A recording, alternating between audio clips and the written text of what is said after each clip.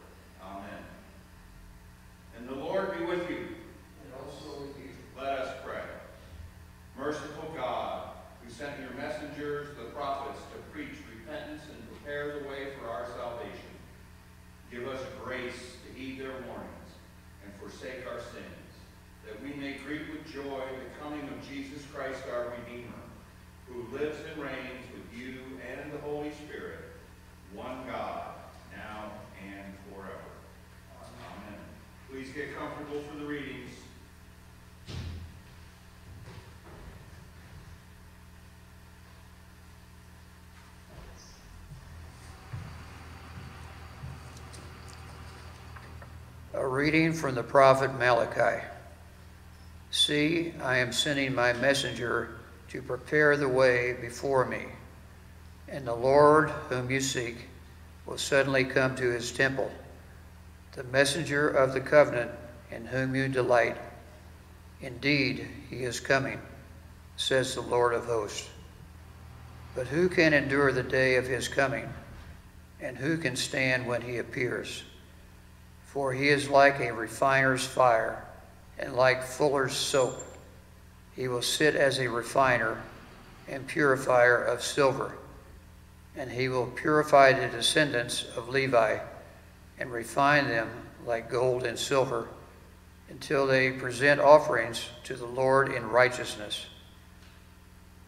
Then the offering of Judah and Jerusalem will be pleasing to the Lord as in the days of old and as in former years. The word of the Lord. Thanks be to God.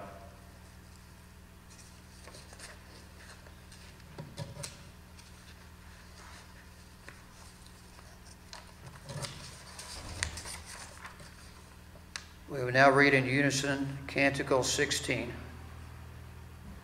Blessed be the Lord, the God of Israel. He has come to his people and set them free. He has raised up for us a mighty Savior, born of the house of his servant David. Through his holy prophets, he promised of old that he would save us from our enemies, from the hands of all who hate us. He promised to show mercy to our fathers and to remember his holy covenant. This was the oath he swore to our father Abraham to set us free from the hands of our enemies free to worship him without fear, holy and righteous in his sight all the days of our life. You, my child, shall be called the prophet of the Most High, for you will go before the Lord to prepare his way, to give his people knowledge of salvation by the forgiveness of their sins. In the tender compassion of our God, the dawn from on high shall break upon us to shine on those who dwell in darkness and the shadow of death, and to guide our feet into the way of peace. Glory to the Father, and to the Son, and to the Holy Spirit, as it was in the beginning, is now, and will be forever. Amen.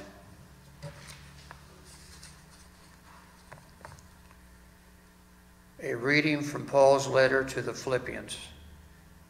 I thank my God every time I remember you, constantly praying with joy in every one of my prayers for all of you, because of your sharing in the gospel from the first day until now. I am confident of this, that the one who began a good work among you will bring it to completion by the day of Jesus Christ. It is right for me to think this way about all of you because you hold me in your heart. For all of you share in God's grace with me, both in my imprisonment and in the defense and confirmation of the gospel. For God is my witness.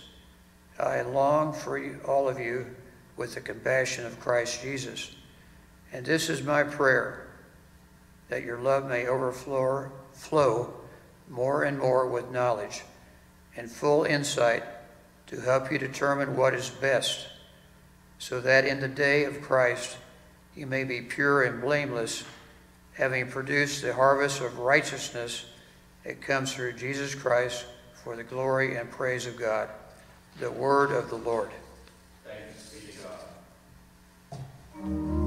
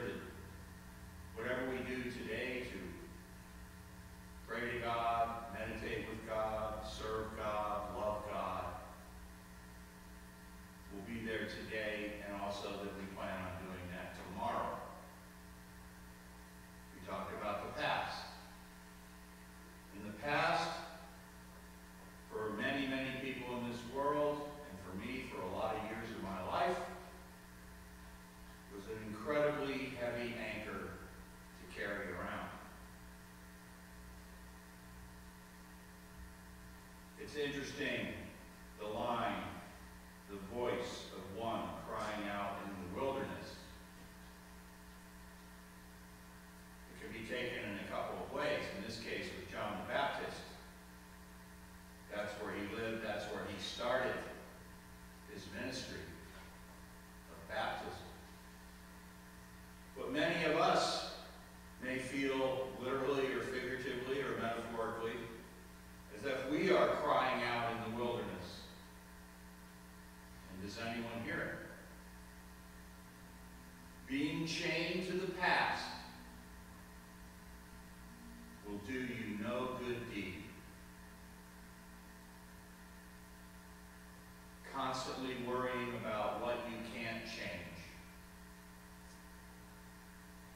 constant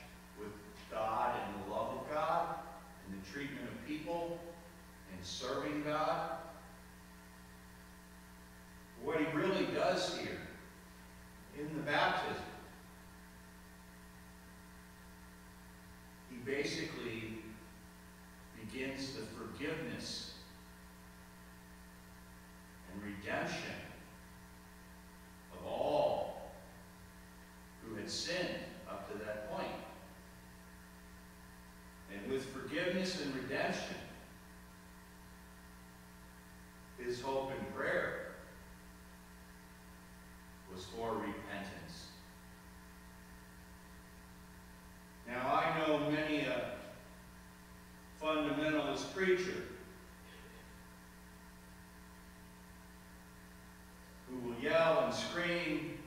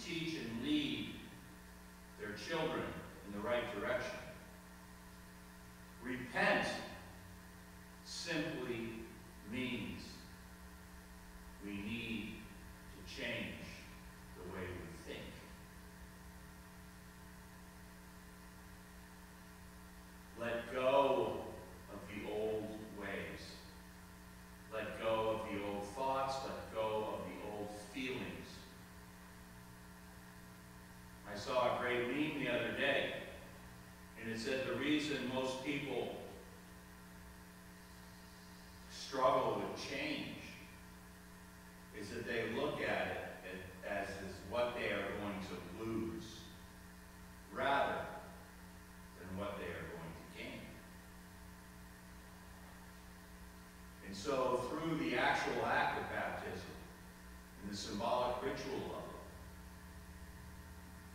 these people are cleansed of their sins.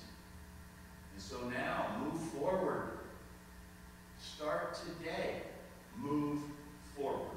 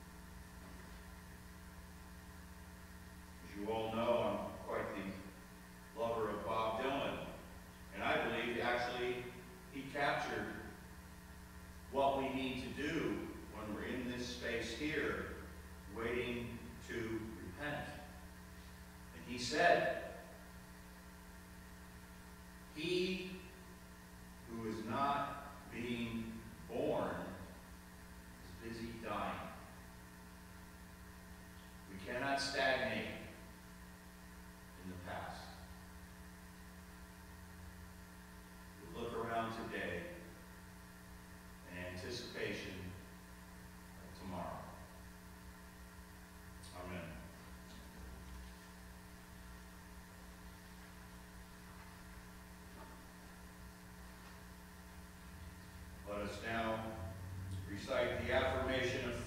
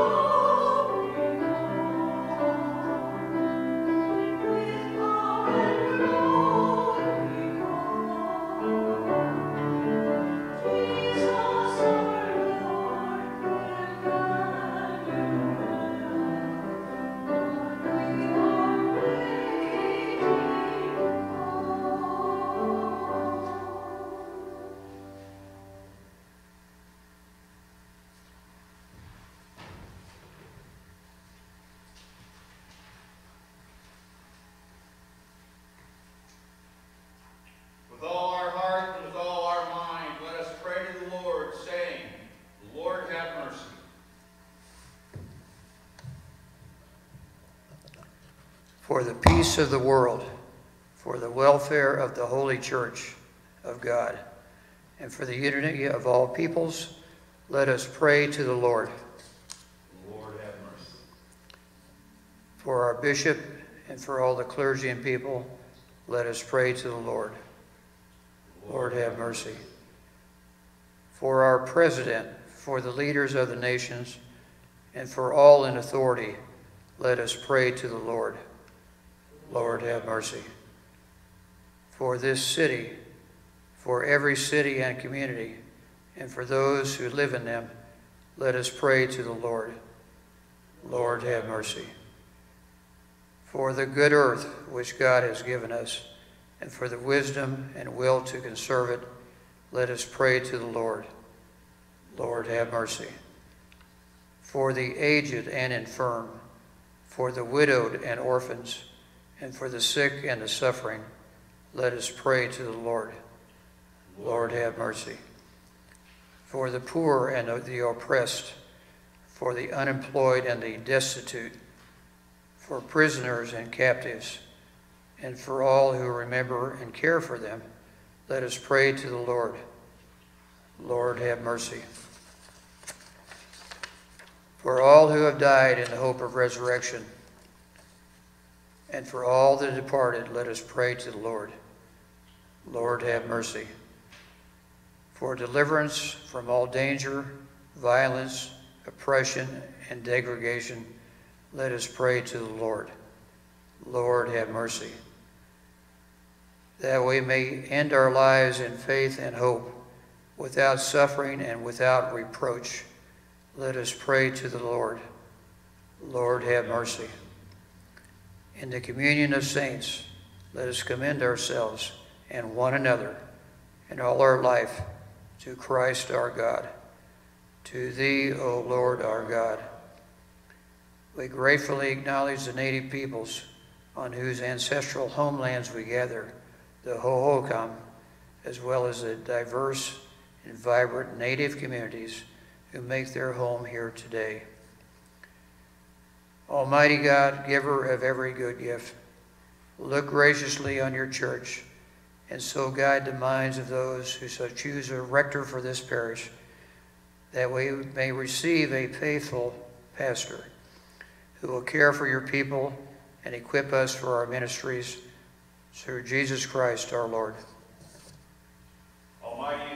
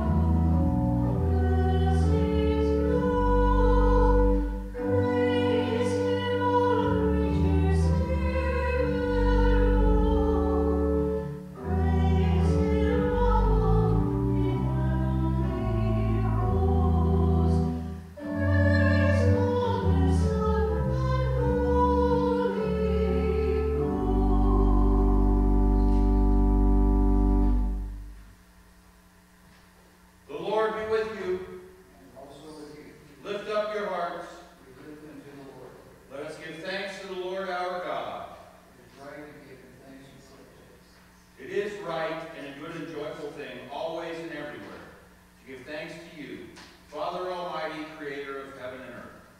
Because you sent your beloved Son to redeem us from sin and death, and to make us heirs in him of everlasting life, that when he shall come again in power and great triumph to judge the world, we may without shame or fear rejoice to behold his appearing. Therefore we praise you, joining our voices with angels and archangels and with all the company of heaven, who forever sing this hymn to proclaim the glory of your name. Holy, holy, holy Lord, God of power and might, heaven and earth are full of your glory. Hosanna in the highest. Blessed is he who comes in the name of the Lord. Hosanna, Hosanna, in the highest, in the highest.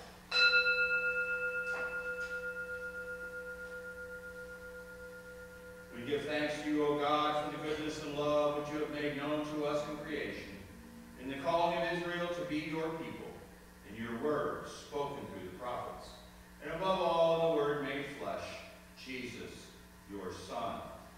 For in these last days you sent him to be incarnate from the Virgin Mary, to be the Savior and Redeemer of the world. In him you have delivered us from evil, and made us worthy to stand before you. In him you have brought us out of error into truth, out of sin into righteousness, out of death into life. On the night before he died for us, our Lord Jesus Christ took bread, and when he had given thanks to you, he broke it, and gave it to his disciples and said, Take, eat, this is my body which is given for you. Do this for the remembrance of me.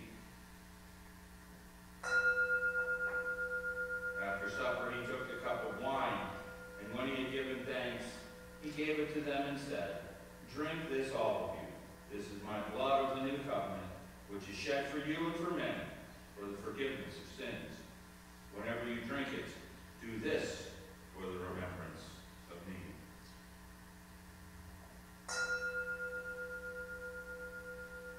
Therefore, according to his command, O Father, we remember his death.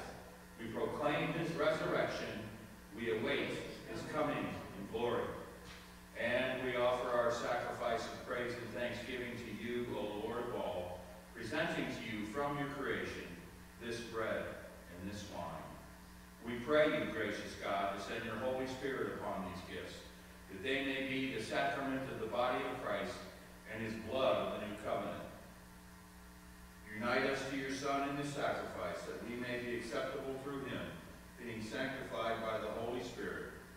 In the fullness of time, put all things in subjection under your Christ, and bring us to that heavenly country, where with all your saints we may enter the everlasting heritage of your sons and daughters, through Jesus Christ our Lord, the firstborn of all creation, the head of the church, and the author of our salvation by him and with him and in him, in the unity of the Holy Spirit, all honor and glory is yours, Almighty Father, now and forever.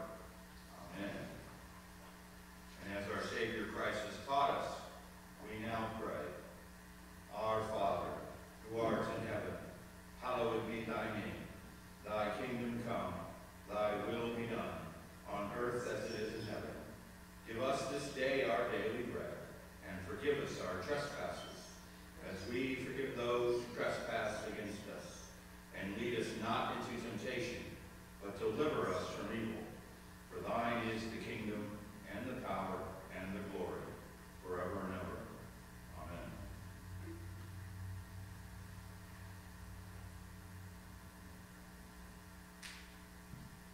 Christ, our Passover, is sacrificed for us.